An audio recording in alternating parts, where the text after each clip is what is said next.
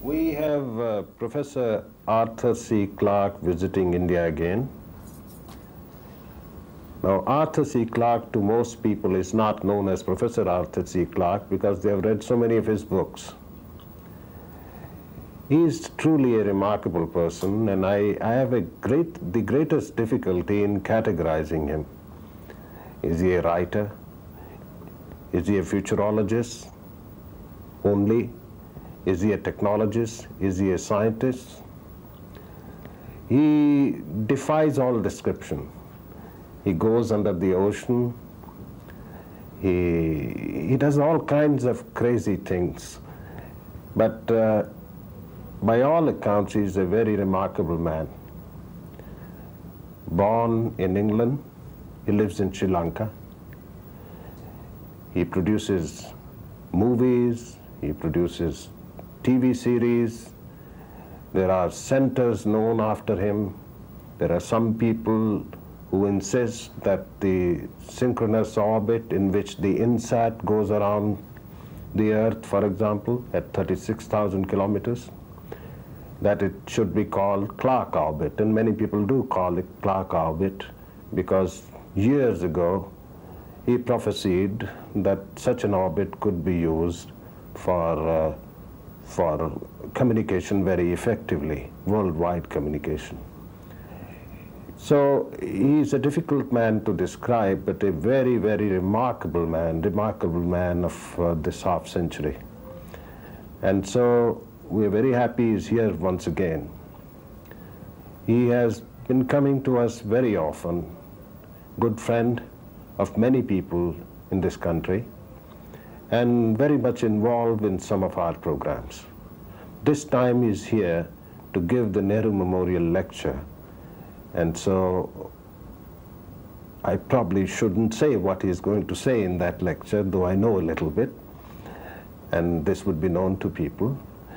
But uh, there is another aspect of his personality, and I think we'll explore some of these things in conversation with you, Arthur, today.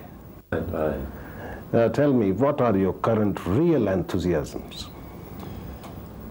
Well, uh, my current real enthusiasm, believe it or not, is a small puppy that I just acquired, a Rhodesian Ridgeback about this big, which um, I've always had dogs. I had a series of German Shepherds, and the last one died a month ago, and now I've switched to Rhodesian Ridgebacks.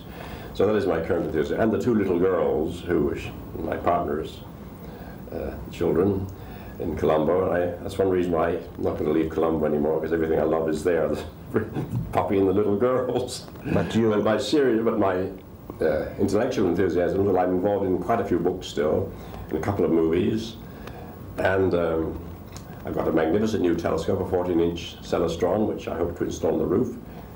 And uh, well, I have plenty to keep me busy.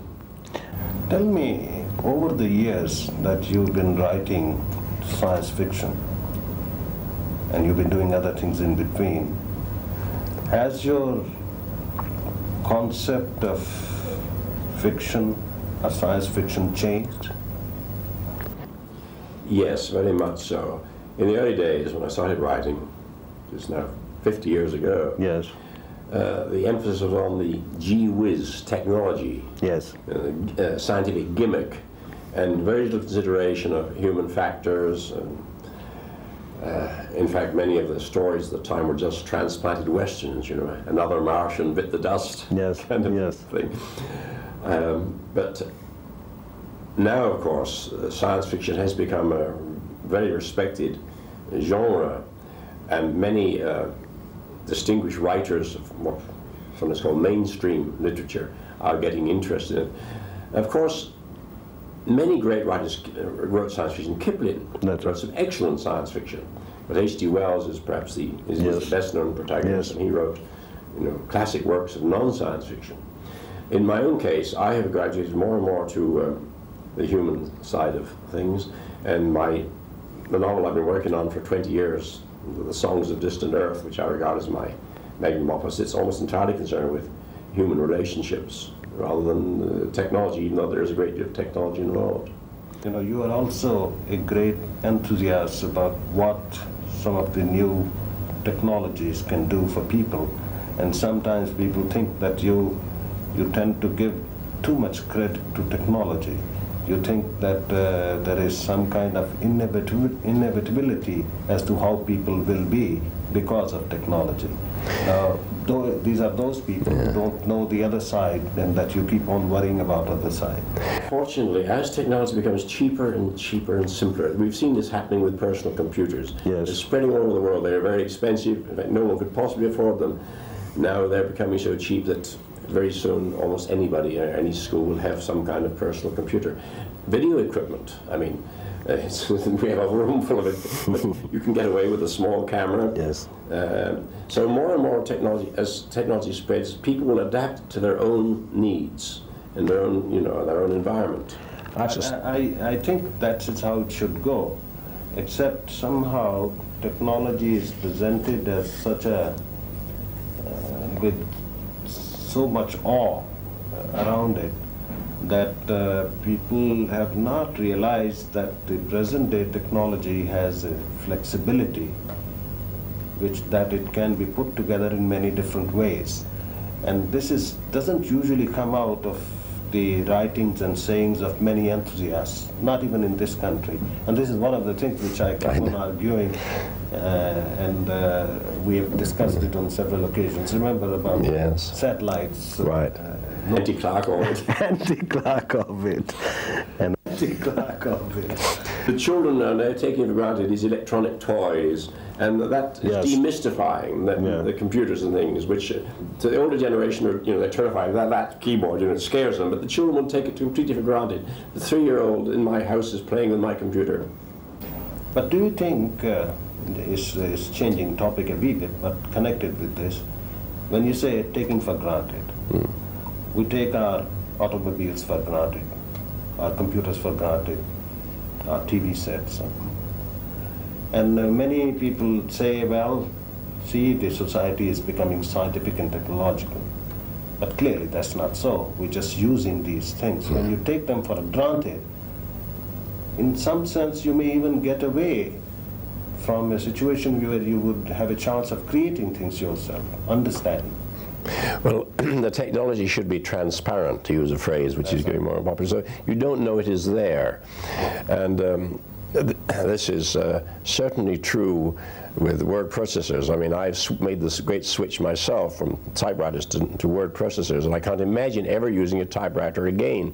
Just as anyone who used a typewriter could never imagine going back to uh, pen and ink. I would rather go back to pen and ink. Yes. then go back to a typewriter after using a word processor.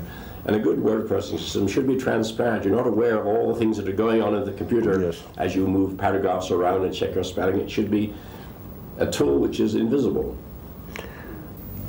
Wouldn't it be wonderful if the tremendous energies, creative energies and drive which major countries have hmm. could be put together for cooperative programs, for example, exploring the planetary hmm. system or going to Mars or uh, exploiting the resources of the moon or all kinds of uh, large cities. Do you think this is, this is uh, a possible way out and uh, doesn't it look like a gimmick? Well, I think it's uh, not only possible, but it's inevitable if we are to survive. And there now is a movement in this direction. I'm very happy for, you know, and particularly happy that the Americans and the Russians are quietly getting together in space in many ways that the public doesn't know about. And there's serious talk of a joint Mars expedition, perhaps in the early next century.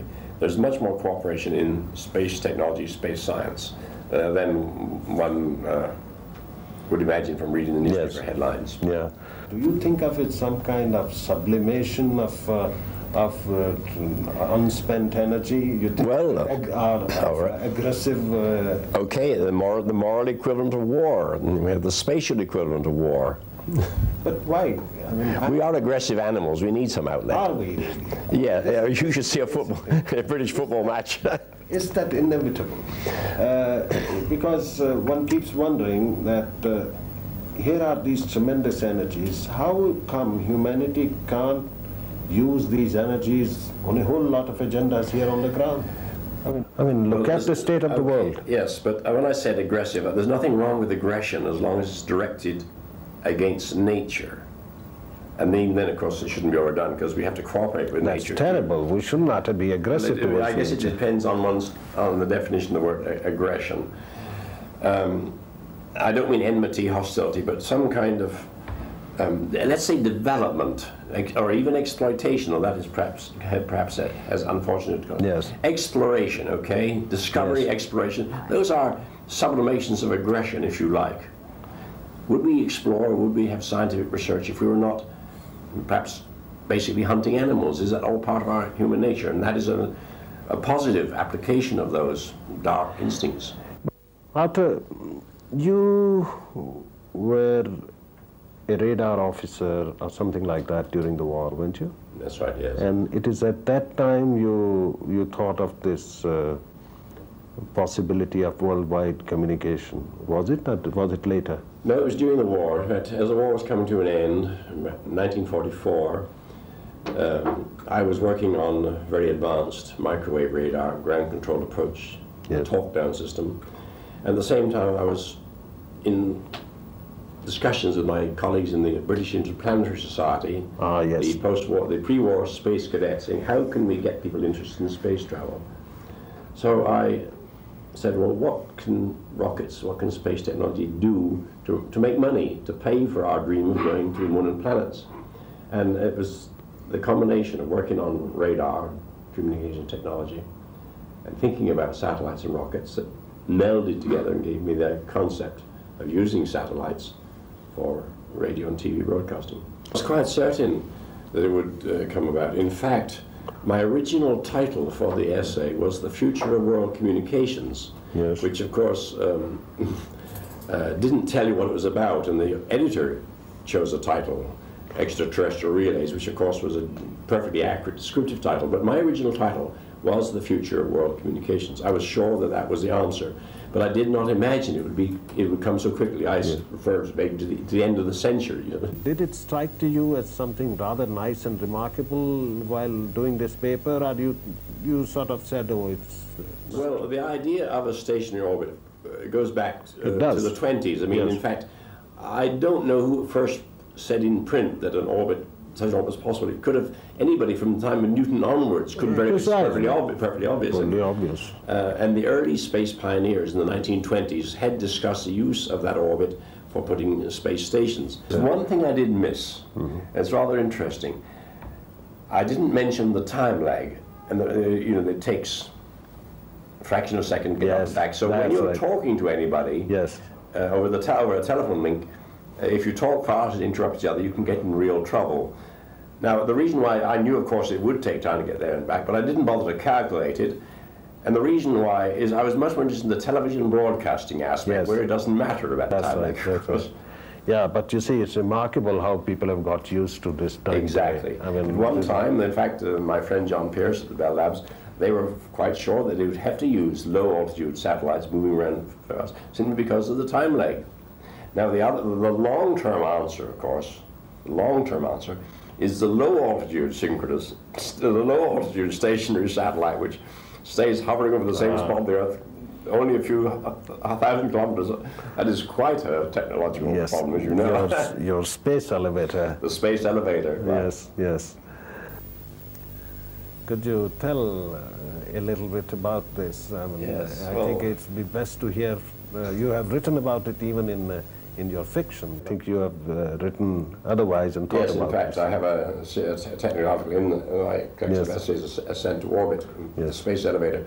It's only an intellectual concept at the moment. The idea is quite simple, even though it may be rather fantastic.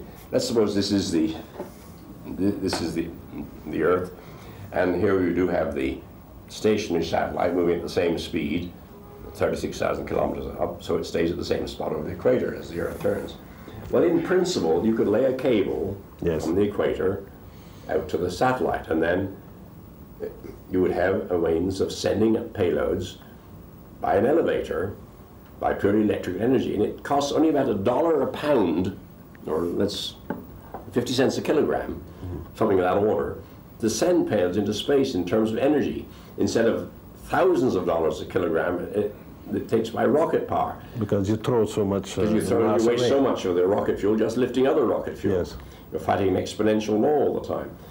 So the idea of the space elevator, which was first conceived by Russian engineer Yuri right. In Yes. Leningrad, um, it's a wonderful dream. The great problem is, is there any material strong enough to, hang down from 36,000 kilometers? Right. The longest, if you make a thread of ordinary materials, even strong as steel, you can only hang vertically for a few scores of kilometers where it snaps under its own weight.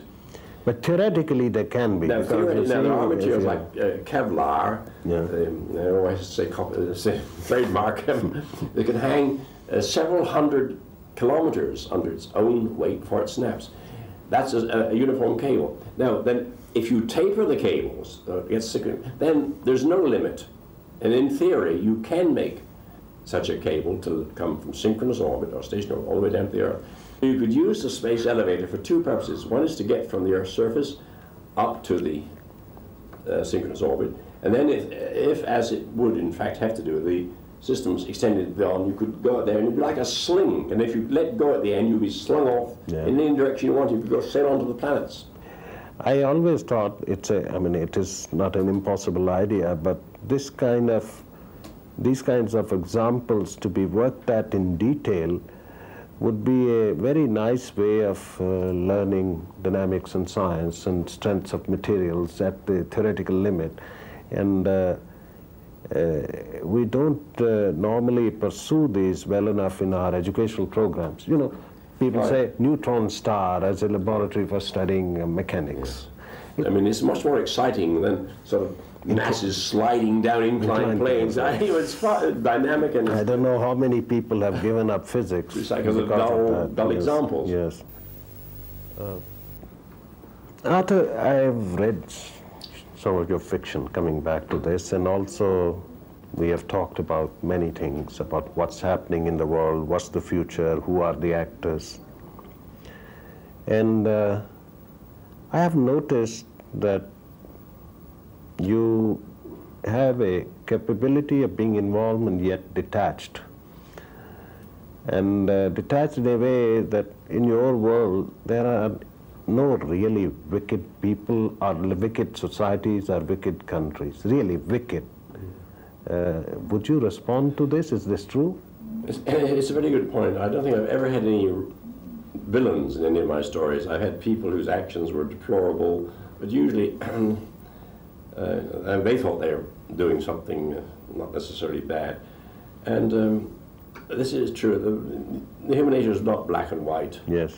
And uh, na- even nations, although it can, there can be sort of crazy administrations and crazy governments, as we see often, too often nowadays, um, I try to avoid um, painting people as villainous because I'm just as I avoid disastrous and catastrophic futures because I think that one's in danger of creating a you know self-fulfilling prophecy if one does too much of this kind of thing. Even if I you try to be an optimist. Well, Arthur, we will continue this another time. It's been marvelous having you here, and uh, I hope you will come again and again because uh, we'd like to continue this conversation. I know I'll have several occasions to, to meet, but uh, this small exploration of this remarkable human being very unusual. You couldn't really think that uh, such people could be designed by, by anybody. And it's a privilege to have him around and to have him stirring up things and giving joy and pleasure to lots of people. Thank you. Thank you very much.